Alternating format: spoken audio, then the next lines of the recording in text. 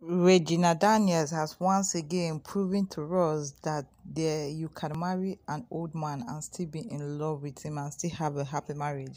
She penned down a note praising the husband for his endurance and you know making her feel like a princess again. Omo, this showering of love is it because of the 10 million naira that he gave to her or because of the way he treats her? Actress and mother of two Regina Daniels took to her Instagram page today to shower praises on her billionaire husband Ned Nwoko. In the post, the actress appreciated Ned for amazing and how he's always making her feel like a princess. I just want to let you know how awesome you are. Despite being your wife, I admire you, your ways, and your sense of humor. Thank you for being a very amazing and always making me a princess. Oh boy.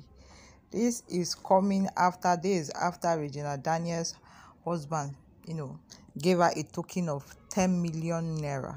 Yes, I call it a token because this is a small money when it comes to, you know, Ned Nwoko, we already know that he's a billionaire. But Regina Daniel, on the other hand, has been a very supportful and dutiful wife.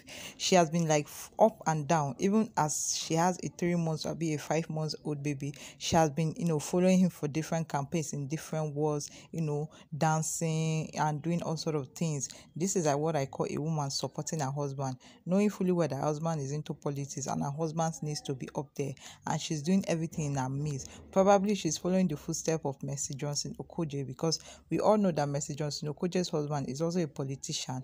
And the way she supports him that is the full step that Regina Daniel has taken over to also support the husband. Despite the fact that the husband also have different wives but she chose you know to support the husband because she in fact eh, she likes the man and likes the way the man treats her. Yes this is what I call true love. I don't know what I will call this one true love but what I know is the fact that um what will I say, Sha? What I know is the fact that they are okay in their marriage.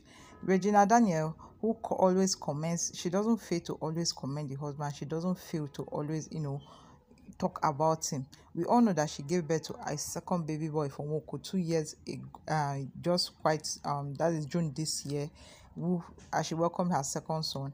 Another post again, she still made always still praising the husband all the time. She's always praising the husband, and that is one beautiful thing I love about Regina Daniels. She doesn't allow naysayers get to her. There was a time that they were insulting her that telling her that she was, you know, marrying a man old enough to be her husband, her father.